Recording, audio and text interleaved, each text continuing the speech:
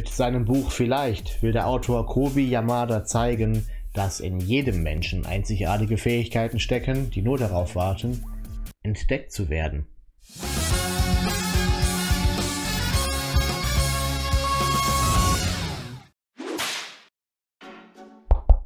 Hardcover natürlich, Kategorie Kinderbuch.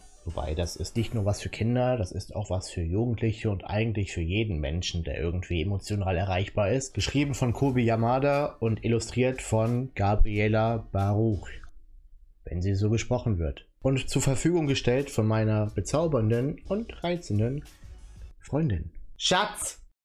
Schatz! Ich hab dich im Video erwähnt!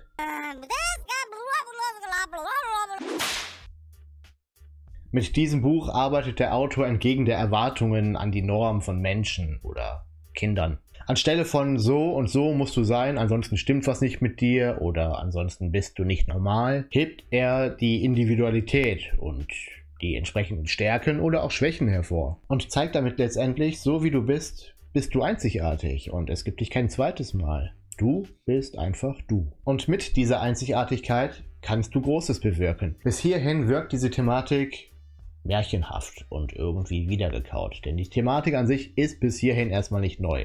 Der Autor gibt hier aber nicht gezielt irgendwelche Wege vor, indem er sagt, das und das wirst du tun, sondern er zeigt hier Möglichkeiten auf. Vielleicht wirst du Erfinder, vielleicht wirst du eine Bauerin von großen Gebäuden. Vielleicht wirst du aber auch einfach nur da sein und anderen Menschen helfen durch deine Art, dadurch, dass du vielleicht zuhörst, Ratschläge gibst, solche Dinge. Er zeigt aber auch, dass es manchmal dauern kann und dass es mitunter auch lange dauern kann, bis du deine Stärken entdeckst.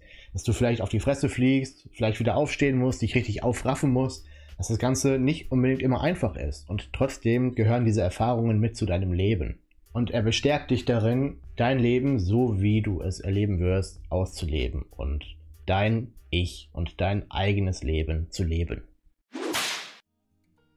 Die Künstlerin Gabriela Barouche hat ein unglaublich liebenswertes, liebevolles, feinfühliges und kindgerechtes Artwork.